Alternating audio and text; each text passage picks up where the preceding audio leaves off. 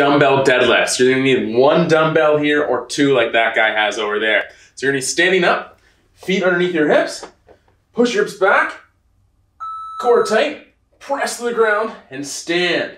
Think about keeping your shins nice and vertical here as your hips go back and maintaining internal torque at your hips here. So inhale as you go down, exhale as you come up. Keeping that core really strong.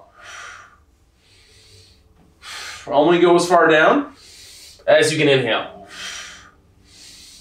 Squeeze your butt to stand.